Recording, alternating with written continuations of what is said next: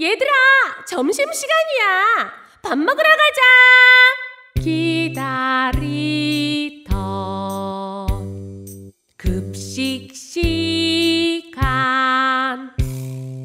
급식 선생님 말씀하신다.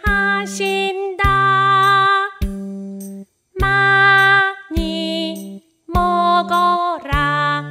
말씀하 신다. 많이 줘야 많이 먹지. 많이 줘야 많이 먹지.